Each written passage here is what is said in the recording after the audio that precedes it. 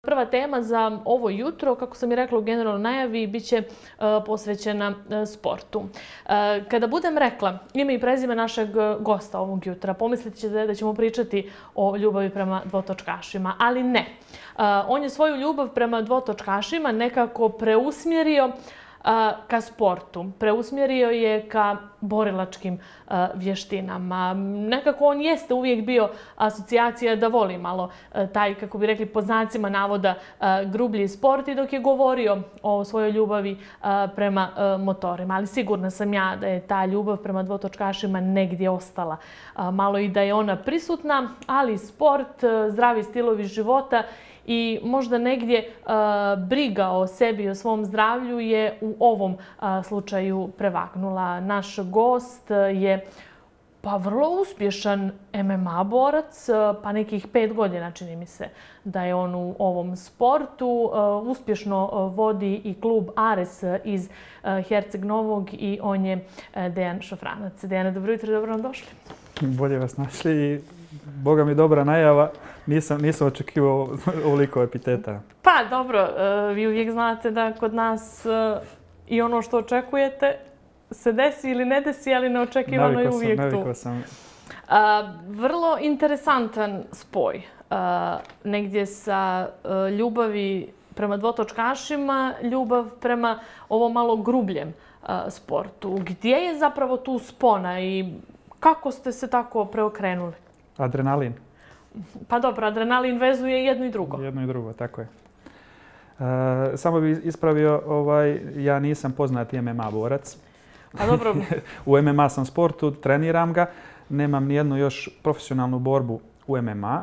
Međutim, za decembar se uh, spremam za ovaj MFC da se u tome okušam. Treniram ga intenzivno pet godina. Uh, okušao sam se u ovom dijelu, pošto je MMA kao miks borilačkih sportova, obuhvata e, brazilsku džiđicu, rvanje, boks, kickboks i naravno još ove neke vještine Muay taj kogod nešto od tih vještina može da implementira MMA, dobro je došlo. Naravno, postoje određena pravila.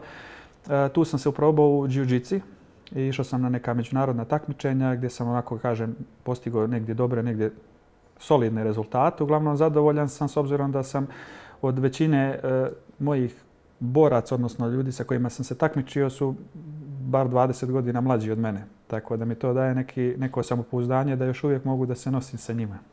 Da im zadam neku muku da kažem. E, kako se neko odluči i odabere jedan segment od e, MMA sporta? Pa MMA sport je sada do, u zadnje vrijeme dosta uh, popularan, to je sada i najbrže, najbrže rastući ovaj, sport na svijetu. Uh, dosta su doprinijeli ove organizacije tipa UFC, KSV, Bellator, One Championship i tako dalje na popularizaciji tog sporta jer je to po mom mišljenju, a i mišljenju dosta mojih prijatelja sportista, najkompletniji sport. Jer tu ne možete da budete samo u jednom, ako ste karatista, karatista ste. Ovdje morate biti i bokser, jer u startu krećete iz nekog stand-upa, iz neke, da kažem, stojeće pozicije gdje radite neke vještine tipa kickboksa i boksa a, gdje se onda pokušate, ako je taj možda nadmoćni ili ovama je možda, ovaj, možda vam je jača strana, to rvanje i brazilska žižica, da taj, tu borbu prevedete u parter, jeli, da, na, na podu, pa da tu isprobate neke vještine da ga prisilite na predaju i tako dalje. Znači, ne možete biti jednostrani, pogotovo danas. Nekada su a, bili ti borci, imali su određenu specijalnost, recimo dolazio iz rvanja, to je odlična baza za MMA, E, i oni su dominirali u tom dijelu, međutim nisu baš bili potkovani u boksu i u kickboksu i tako dalje, pa su imali dosta, kažem, navodnicima šupljina. Danas to više e, nije slučaj. Danas su mladi borci, ja sam oduševljen. Znači, oni su potkovani u svim segmentima borbe.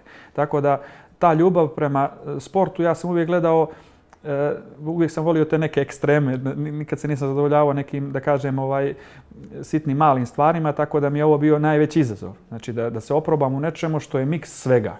Znači, gdje dođete u priliku da imate preko puta sebe za protivnika nekog rvača, vi morate da, a niste možda dorasli njegovom levelu, nivou rvanja, morate da nađete sistem kako da to kako da izdominirate, da pobjedite ovaj takvog nekog čovjeka. Znači, mnogo, mnogo zahtjevan sport, i, ali samim tim je, eto, postao jako popularan i dosta ga sada ljudi trenira. Imamo jako dosta klubova u, u Crnoj Gori e, novi klubovi se formiraju i mi smo mlad klub Ares iz Herceg Novog.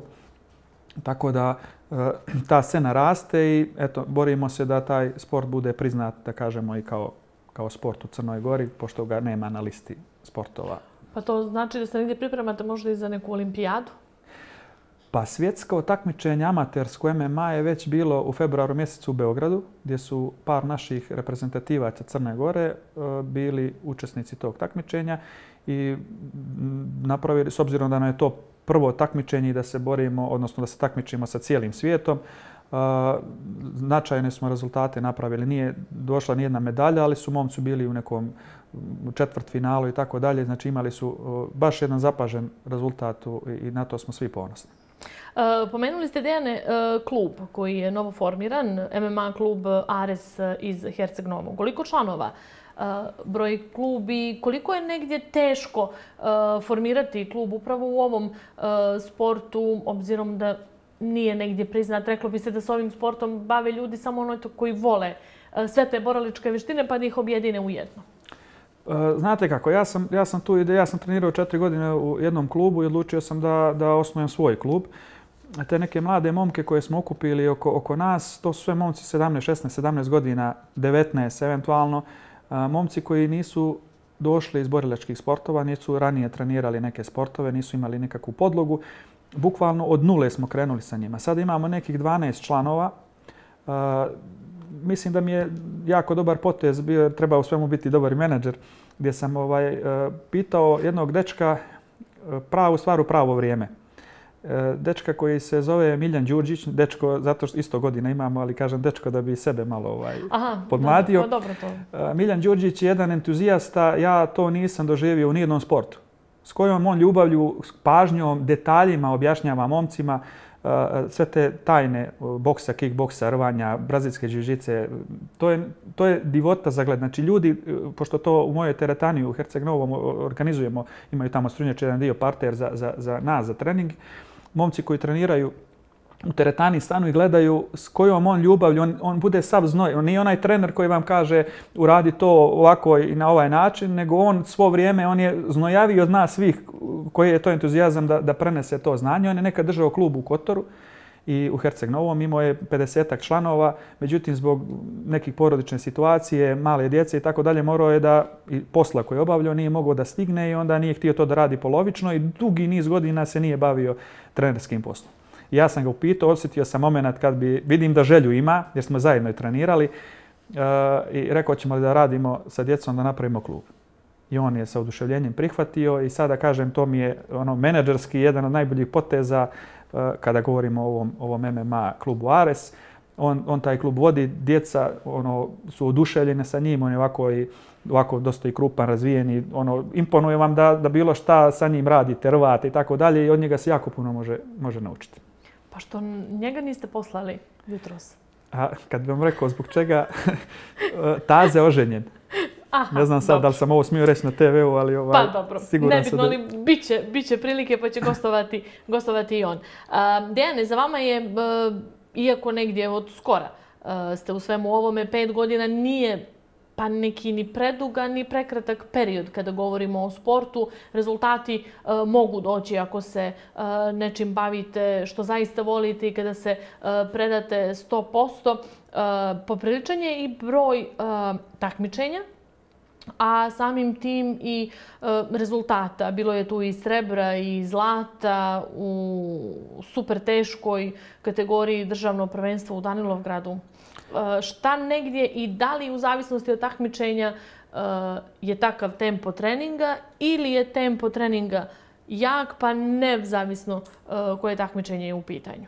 Vidite, ovo su specifična takmičenja gdje ovaj, nemate održavaju se tokom cijele godine. Znači imate od oktobra otprilike krenu ta takmičenja, pa je krenuo sa barom, pa imate u bivšoj Jugoslavi dosta tih, a mi imamo, pošto sam ovaj preko ovog e, kluba Panda iz Herceg Novoga se takmičio, pošto su oni u džuđici, ja sam htio u tom jednom segmentu da se, da se oprobam. Treniram dugo MMA, jedan od segmenta MMA jeste ta džuđica, brazilska, I to se ovaj u, na japanskom zove nevaza, odnosno to je ta disciplina sa kimonom. Ja nisam radio ranije s kimonom, sve to bilo meni nepoznato, ali sam htio da vidim gdje sam. Znači, trenira već četiri i pol godine tada već rekao, ajde da vidim gdje sam, u kojoj sam fazi, da vidim da li ja sam konkurenta nekome. Ja, ok, mogu da dominiram neke moje u klubu, ali mi se znamo između sebe. Ajde da vidimo kako to izgleda. Prijavih se kod o, o, Radenka Smolovića, on je trener o, crni pojas u Žižici i već dugi niz godina vodi jak uspješan klub Panda iz Herceg Novog. On nije vjerovao da ću ja da dođem. Imam 40 godina.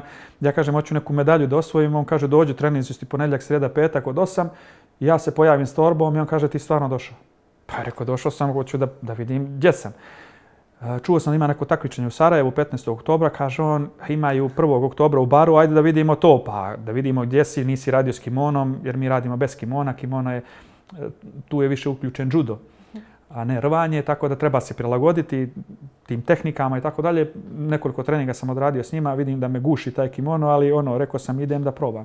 Tamo sam svojio srebro, srebro u, u baru, E onda nije sam trebao, da, sam, da nisam osvojio nijednu medalju, vjerojatno bi se tu možda i zaustavio, rekao, ok, vidio sam gdje sam. Međutim, kad sam osvojio to srebro, onda sam otišao u Sarajevo, tu sam uzeo srebro, pa sam u Skopje uzeo srebro u, svojoj, u, u zlatu usvojio srebro u, u super teškoj kategoriji, sad na državnom sam bio treći. E, sad u Baru sam uzeo opet treće mjesto, odnosno u Budvi sad je bilo ovaj takmičenje, to je da kažem zadnje kalendarsko ove godini.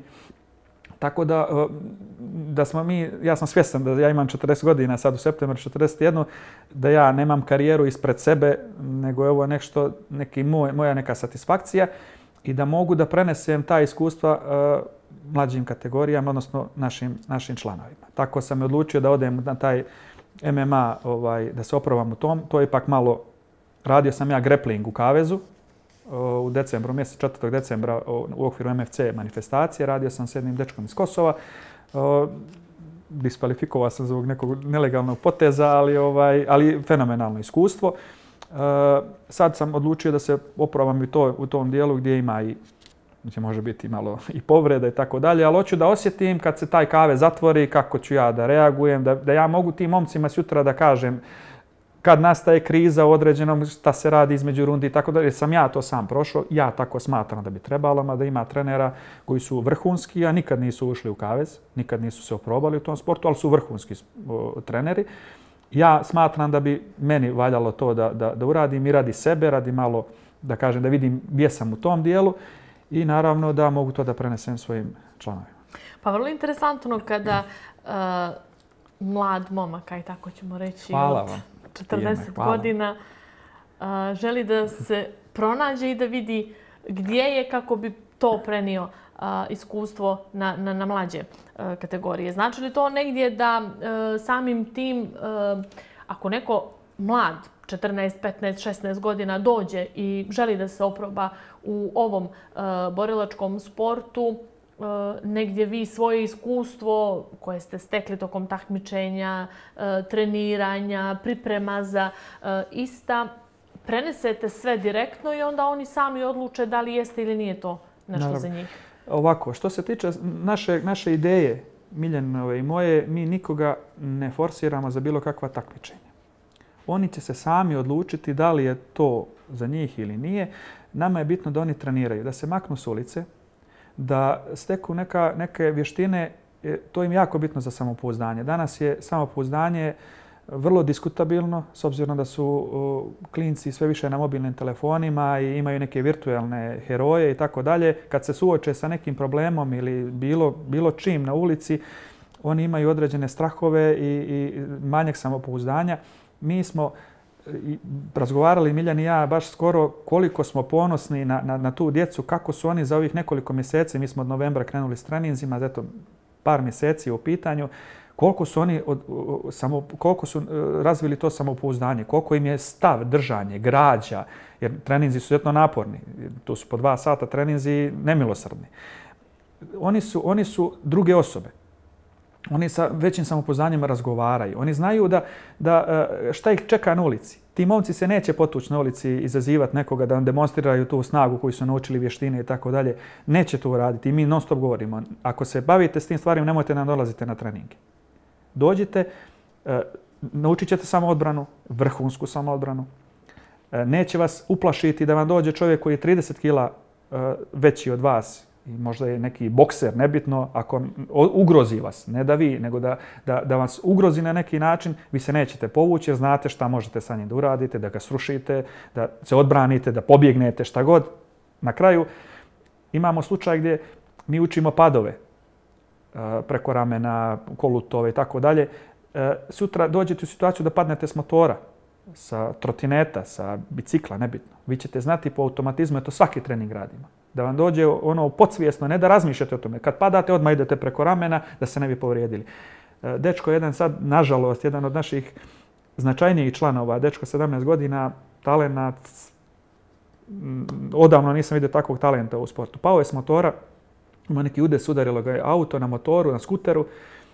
On sam kaže da, da, da, kaže da nisam vježbao ovo, kaže, ne znam šta bi se sa mnom desilo em zbog snage fizičke e, mišića i sve kako se razvio, do tog samog pada i tako dalje, to su sve neke stvari koje, koje mogu koristiti u život. Ako će se takmičiti, nije nikakav problem, imamo načina. Čak e, smo naš klub u jako dobroj saradnji sa MMA klubom Zabilom, sa Alenom Đankićem i sa organizatorima uošte MFC organizacije, e, njegovog kolege Kneževića, Ovaj, e, tako da smo u nekoj fazi, pošto ja imam jedno poznanstvo sa ovim e, organizatorom, odnosno vlasnikom uh, e, UFC, odnosno KSV organizacije iz Poljske, to je, ko se bavi MMA sportom, znaju da je to jedna najjača organizacija u, u, u Evropi. Znači, ono, kad kažemo Evropa, KSV je broj jedan. Ovaj, da napravimo neku saradnju to KSV-a sa našim MFC Montenegro Fighting Championshipom, da napravimo tu neku saradnju da neki borci koji osvoje neki pojas kod nas, imaju automatski prolaz u KSV-u gdje su uslovi, ono, svi žele da idu u KSV, to je naravno ovaj prestiž. Tako da sam ovaj e, sa njim bio, odnosno on je došao kod mene u goste u, ovaj, u Herceg-Novi, pa smo došli u Podgoricu da se upoznamo sa Alenom i sa njegovim partnerom u MFC-u i dogovorili neku saradnju. Tako da radimo svi, svi pomalo damo sebe da ova, u MFC organizacija koja nam je jedina tu i zahvaljujući Alenu i njegovom to je entuzijazam, to se ne može, ne može mjeriti ni sa čim, jer ipak sami u takoj, to je na kraju trošak veliki, tu treba naći sponzore, to je jako skup sport, da kažem.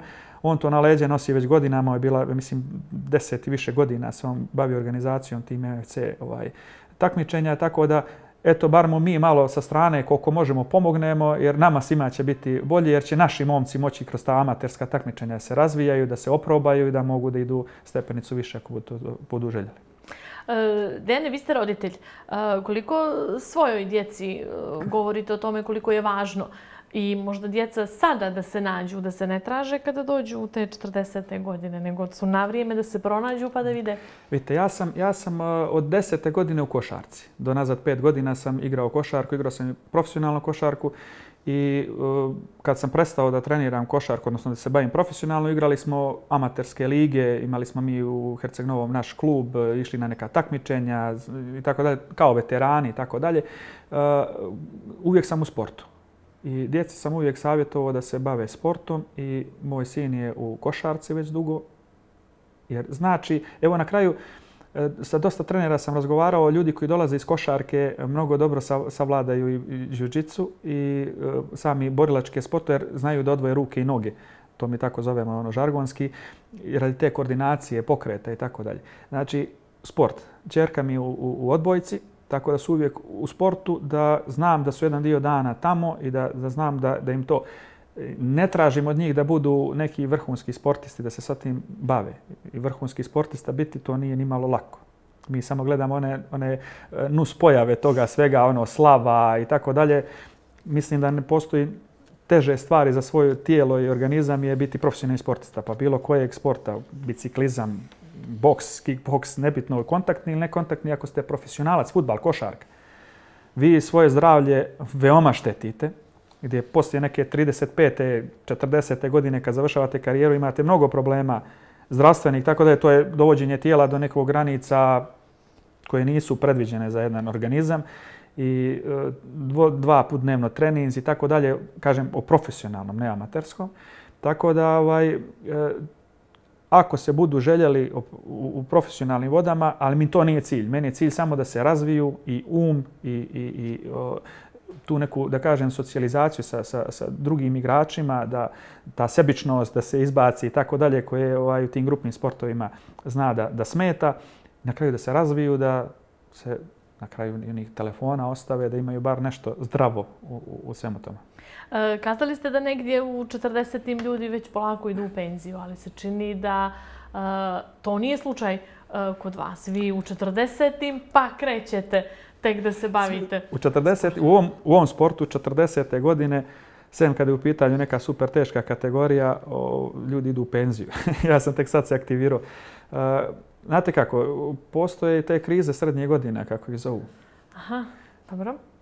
Pa su moju suprugu pitali da li ovaj, joj smeta kako dozvoljava mužu s 40 godina ide u kavez da se tamo mlati sa, sa klincima. A kaže, uvatila ga je kriza srednje godina, kaže, bolje je da se oproba u tom sportu nego da juri žene.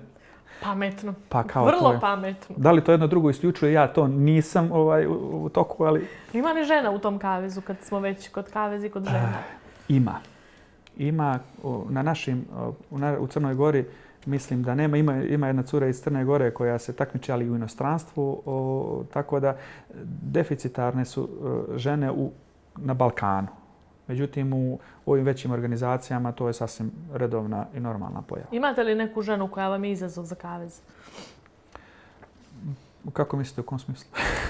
Pa u smislu kaveza, u smislu ovome o čemu pričamo. Da li poznajem neku, da li poznajem, da li, ne, ne, da li poznajem neku ženu Ne, nego ko- ima li za vas neki izazov kada pričamo o ženama, takmičarkama koje, da sa kojim- pripremimo neku Tako. takmičarku za Da se takmičite. da se takmiči.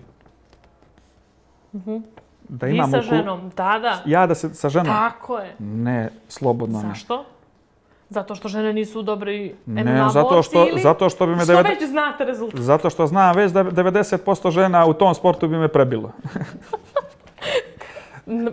Ja zato Ko nisam jer znate zašto nisam ovaj odreagovao, nisam odmah ukapirao pitanje zbog toga što ne postoji nigdje gdje se žena i muškarac biju na nekoj u nekoj Pa dobro, organizaciji. zašto ne bismo bili prvi? To bi pa bili to, bi organizovali? se nazvao neki freak fight, tako se to A zove. zašto ne bismo bili onda prvi, odnosno MMA klub Ares da bude prvi koji će da organizuje to? Da neki muškarac prvi iz. Aresa dobije batino žene i da to Pa, bude dobro da, reklama. eto, može, to. može. Eto, Reklama je reklama, okej. pa dobro, mislim, svaka samo da, da je lijepa slika, pa kakav je marketing, nije važno. Hoće li bi poslije lijepa slika, ne znam.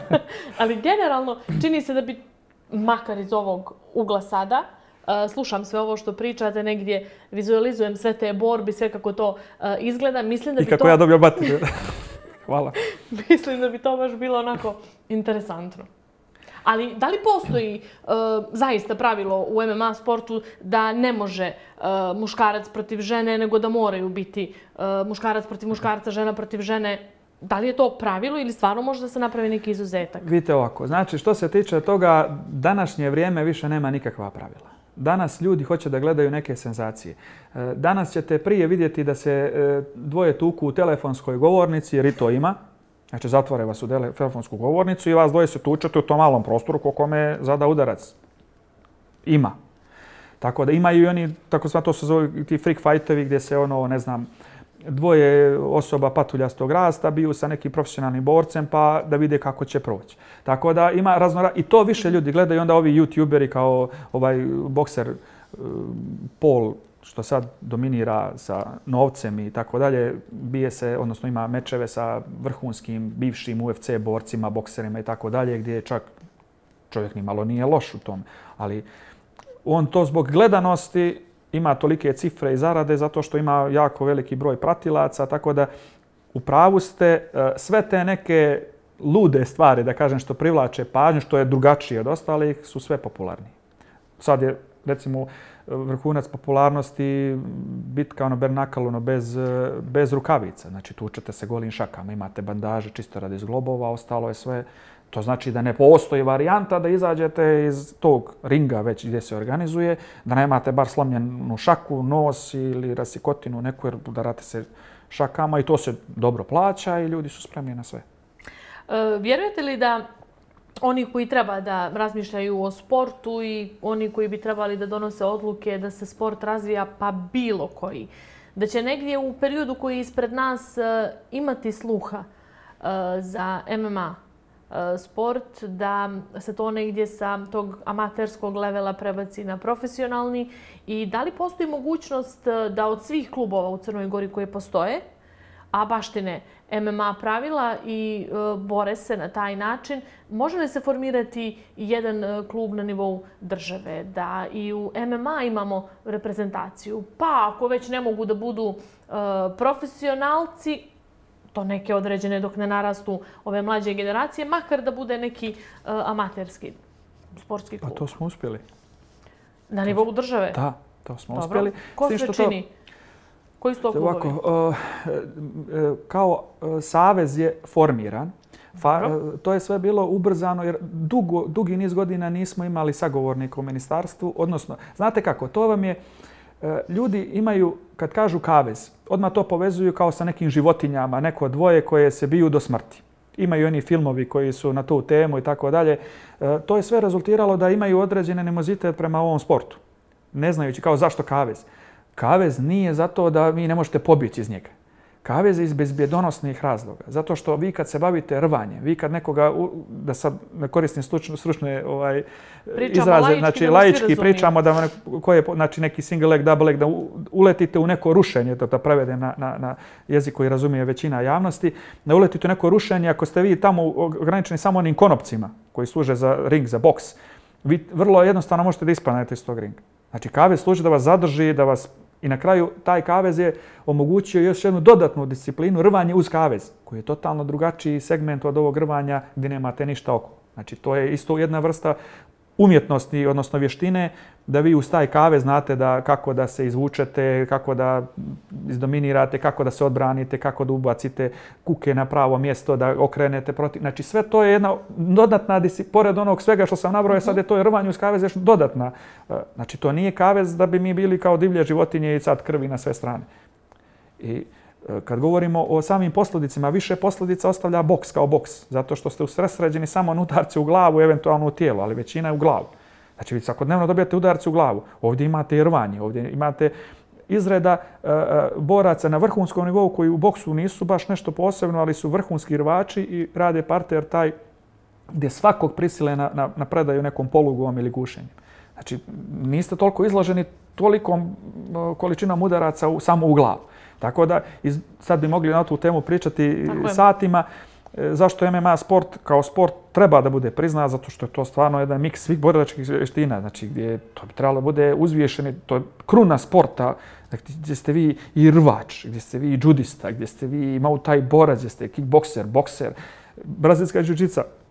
Sve što segmenti koje, koji morate biti dobri, jer rekao sam prije, ne postoje sad, toliko su treneri uznapredovali, toliko su momci uznapredovali uz YouTube, uz e, određene tutoriale i tako dalje. Znači on dođe kući i gleda neke poluge kako da to upotrebi sutra na treningu, pa mu trener da sugestiju i tako dalje. Znači već imaju dakle, ranije nisu imali YouTube, nisu imali dakle se edukuju sem neke možda video kasete i to je rijetko bilo. Tako da su danas momci savršeni u svim segmentima. Tako da ne možete biti samo u jednom. Ja smatram da taj sport mora biti e, visoko kotiran u, idemo na to i da bude čak i olimpijski sport, ali naravno iz ove perspektive to sada baš na, na dugačkom lancu, ali ovaj pokrenulo se i zato je to sad, Savez je formiran.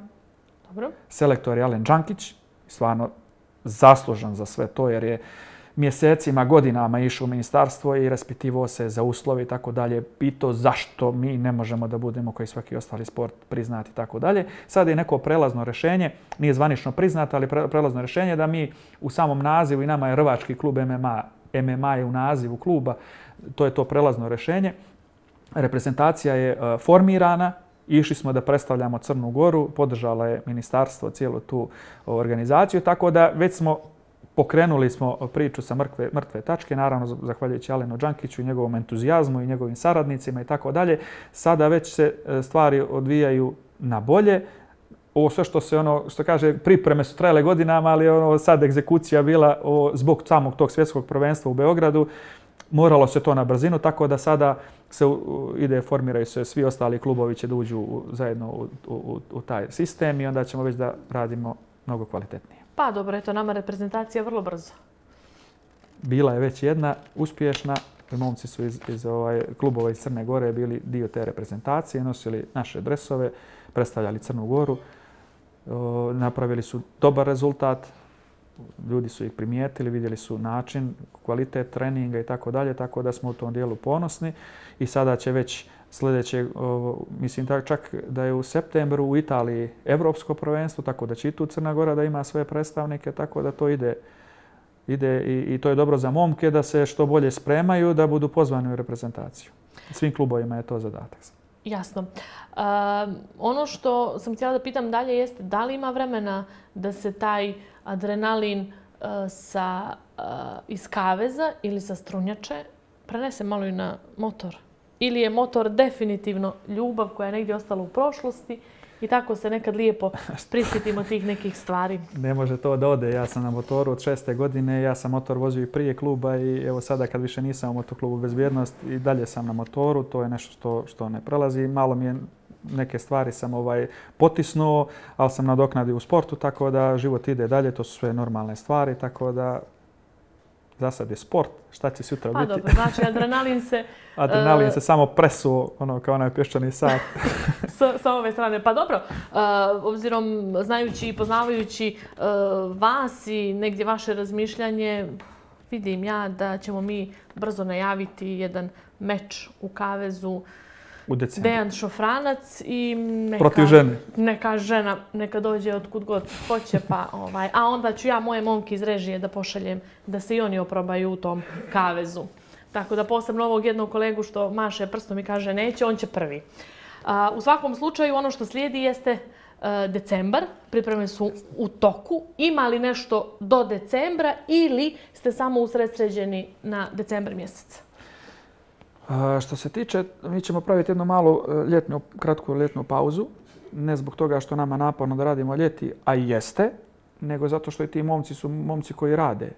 Neko radi u kafiću na šanku, neko to su ljudi koji nisu profesionalni sportisti, u ovom momentu to ne mogu ni biti. E, svi rade i onda nam je teško uskladiti termine da odgovara svako. Neko je druga smjena, ne može dođe na trening i tako dalje. Napravit ćemo pauzu do septembra. August sigurno nećemo cijeli raditi, tako da ćemo od septembra krenuti sa i tim pripremama za, za, za decembar. Iz kluba očekujemo što uh, ovih amatera, što profesionalaca, da, će, da, će biti, da ćemo imati iz MMA kluba Ares sigurno četiri predstavnika, plus ja. Znači to je pet? Pet, za sada kako stvari stoje. Moramo uvijek uzeti obzir faktor sreće, a kad govorimo o MMA sportu, sreća je vezana otprilike i za zdravlje. Bude tu povreda, recimo ja sam trenutno sad zbog svih ovih priprema i tako dalje, imam problem na fizikalnoj sam terapiji za, za rame, ovaj, neki, ner, ne, neki ner, ner se ovaj, upalio i imam neko trljenje kroz ruku, idem na, na, na terapiju, što znači da ako se tako nešto dogodi nekom takmičaru, on je prinuđen da, da, da odustane. Ispričao vam jednu, samo ovo, evo, mislim da je ovo Može, bitno radi, radi eh, mlađe populacije, kad nešto jako želite. E, E, prijavio sam se na to prvo takmičenje u, u, preko e, džuđica kluba Panda iz Herceg Novoga, prijavio sam se da se takmičim u baru. Trening prije, prije takmičenja, znači srijeda je bilo u pitanju, radili smo radili smo neki parter, sad, to su momci koji su možda i malo kilažom uh, manji od mene, znači ne mogu ja da se sad mjerim sa njima jer sam dominantniji, teži sam po deseta kila od, od tih momaka s kojima sam radio. Uglavnom, htio sam da vidim kako to sa kimonom. Napravio sam neku polugu dečku, ovaj, neka to se zove omoplata, e, nogu sam nekako, na, kako, ne znam, nije me tu u momentu ništa zaboljelo, Izašao sam iz sale, poslije treninga, nisam mogao nogu da ispravim uopšte. Znači, donekle dođem i ne mogu da ispravim skroz. Ovi lateralni ligamenti su se počupali, kako, ne znam, nije me to u momentu zaboljelo. Uglavnom, kaže Radenko, vidi kako će biti sutra, pa ćemo otkazati. Sutra dan još gore, nisam mogao da ispravim nogu skroz. Ja rekao, kaže on, ništa, otkazat ćemo ti, nemoj da ti padne na pamet. Znači, ja idem na takmičenje. Ne možeš tako nogom, ne smiješ se s tim igrati. Samo ti to prepusti meni. Otišao sam kod jednog, jednog doktora, ne bih ga imao nevo sad, to je moj tajni doktor, koji Dobre. mi je dao neku blokadu, u, u, u veliku iglu mi je zabio u koljeno, dao blokadu, ja sam to bandažirao, stavio kimono preko toga, ja sam otišao na takmičenje i uzao sam srebro. Uh, ljudi nisu, nikome naravno nisam govorio, jer onda bi gađali baš na tu nogu.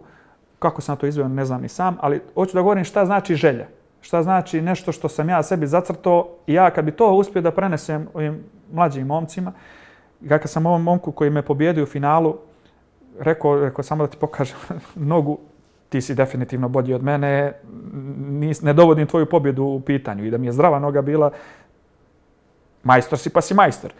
Ali hoću ti reći samo da je noga bila, kaže on, ja, ja ne mogu vjerovati da, da, da si ti ušto ušao da, da se takmičiš. Hoću reći, kad je neka želja, kad je nešto, ne postoje granice. Ne zna, ne zna se, ne zna se za, za granicu kad imate neku želju, kad nešto želite u, jako u životu. Kad bi to uspio djeci svojoj da prenesem, pa i momcima iz kluba, ja bi, ja bi bio vrlo zadovoljan. Pa dobro, to je velika želja, uh, adrenalin na sve to. Kriza srednjih godina, kasni rekli, pubertet. Tako Mislim, je. čisto da sumiramo. Nije kasnije, nego tačno na vrijeme. Šta će mi pubertet sa 60 godina kad ne mogu ništa? Čisto da sumiramo, ja se upravo plašim tih 60 godina, ali živi bili pa vidjeli. Mislim ja da ćemo mi pričati i tada i da ćemo Mislim, se prisjetiti te. Zato što je medicina uznapredova, imamo dosta ovih ovaj, Da, da, da, kako da ne. Do, derivata, da ćemo, kažem. Tu ćemo stati, derivata. staviti tri tačke, tako da ćemo ispratiti sve ono što se bude, naravno, uh, dešavalo i dalje. Dejana, veliko vam hvala uh, na izvojnom vremenu. Hvala, hvala vam što ste danas uh, bili sa nama. Mnogo sreće, naravno, upravo zbog tog adrenalina i tih srednjih godina. Nemojte se previše tražiti, dovoljno je. Septembar će brzo, 41 godina još brže. Tako da si ipak vi držite... Hoću dobiti neki poklon od televizije za rođenje. Pa vidjet ćemo, sve zavisi od rezultata. Kakvi budu rezultati, zašto, zašto da očekujete, evo sad vi da se spremate i da očekujete u da septembru da će, biti, da će biti poklon? Znate ne. zbog čega? Zbog, zbog ovoga što ste tri, četiri puta pomenuli krizu, krizu srednjih godina, ja samo zbog toga, ništa drugo. Ja čisto da, zbog gledalca koji žele da se bave svem, svime ovome i da negdje ovaj kavez bude u fokusu a, interesovanja, spremit ću momke a, za kavez, tako da ovaj, u svakom slučaju naravno šala e, sa strane. E, pratit ćemo sve ono što bude posebno MMA klub Ares radio iz Herceg Novog. Bićemo tu naravno podrška i vjetar u leđa pa da možda sljedeći put dođu neki koji nemaju krizu srednjih godina, posebno ovi mlađi, pa da malo sa njima porazgovaramo i vidimo... Trenere kako... moji godina, tako da Ne tu krizu ne možete izabrati. Može neko dijete, može neko koji je tek napravio uh, Sa zadovoljstvom, tako je. Baš, baš želim i tako da te momke koji su stvarno, znači, koliko su oni napredovali, mi smo sa njim, oni bukvalno, znači mi naučimo neko rušenje i on sruši protivnika i ne zna šta dalje. Bukvalno ne zna šta dalje. Nikakva mu ideja ne pada na pamet. Do sada, Nakon nekoliko mjeseci mi imamo problem sa svima njima, jer mi s njima radimo žive, ono, real fight, radimo borbe sa njima ono što se narodski kaže, o jadu se zabavimo sa tim klincima. Znači, nikoga više ne možemo lagano da, da dominiramo. Izgleda kriza srednjih godina prelazna. znači, jednostavno, momci su došli do te, se samo par mjeseci treniranja, došli su do tog segmenta, da, odnosno tog nivoa, da mi jednostavno se i Miljan i ja mučimo sa njima kako da ih savladamo, koliko su napredovali. To nam je puno srce, mi njima svima možemo roditelji biti što se tiče toga. I pored svega toga, treninga mi sa njima razgovaramo o raznim pričama iz života. Znači, savjetujem im razne stvari. Kad ima problem sa curom, im objašnjavamo kako je dalje. Znači, uglavnom, e, to je nešto što, što našoj djeci treba. Neki uzor, neki autoritet, pored roditelja da ih usmjeravaju pravom. Nemojte vi s njima diskutovati o problemima sa curam, oni će to sami e, riješiti. U svakom slučaju, veliko hvala, mnogo uspjeha i naravno bit ćemo mi tu i dalje pratit ćemo sve što budete radili. Brzo vas očekujemo ponovo kod nas. Hvala, Tijena, i vidimo se uskoro.